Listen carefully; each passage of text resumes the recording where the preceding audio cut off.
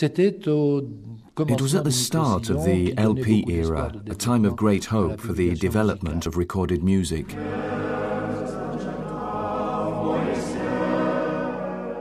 It's a story we thought was quite original and individual. Harmonia Mundi started up in Paris, but it was really small in the early years. There were only four or five of us. So there was no problem when those four or five people all agreed that Paris was far too noisy and we wanted to move to the country.